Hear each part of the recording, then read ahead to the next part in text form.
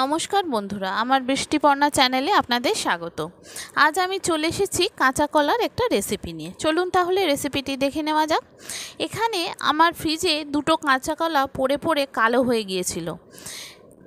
যেমন থাকলে হয় আর কি ফ্রিজে কাঁচকলা পড়ে পড়ে কালো হয়ে গেছিল, সেগুলোই আমি আজকে ব্যবহার করছি। কাঁচকলাগুলোকে ভালো করে ছাড়িয়ে নিলাম। নিয়ে আমি ছোট ছোট গোল গোল করে কেটে নিলাম। নিয়ে এগুলো আমি পরিষ্কার করে ধুয়ে নেব। এইভাবে প্রতিটা দুটো কলাই আমি কেটে ধুয়ে নেব।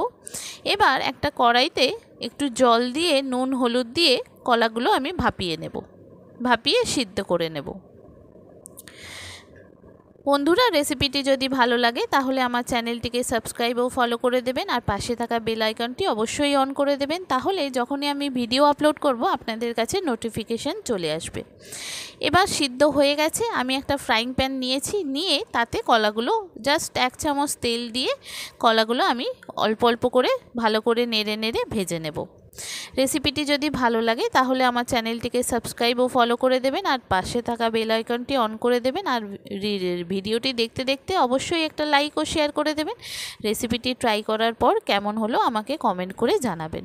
দেখুন, আমি এরমভাবে প্রতিটা কলা নেড়ে নেড়ে, উল্টে উল্টে ভালো করে ভেজে নিচ্ছি। নিয়ে এটা আমি যখন নামাবো, তার আগে একটু পোস্ত দিয়ে দেব।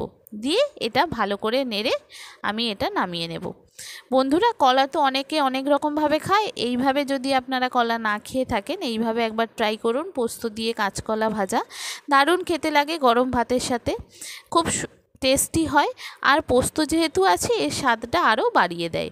কেমন হলো রেসিপিটি আমাকে জানাবেন। কাঁচকলা ভাজা। এইভাবে পোস্ত দিয়ে কাঁচকলা ভাজা যদি না ট্রাই করেন, তাহলে কি বলব? নিরামিষ দিনে যেদিনকে আপনাদের নিরামিষ হবে, সেই দিনকে এরকম কাঁচকলা যদি কোপ্তা বা অন্য কিছু রান্না করতে না ইচ্ছে করে, এরমভাবে পোস্ত দিয়ে ভেজে ফেলবেন।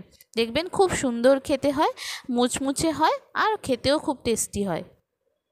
কেমন হলো? আমাকে রেসিপিটি জানাবেন। ভালো লাগলে একটা লাইক ও শেয়ার করে দেবেন। নমস্কার বন্ধুরা।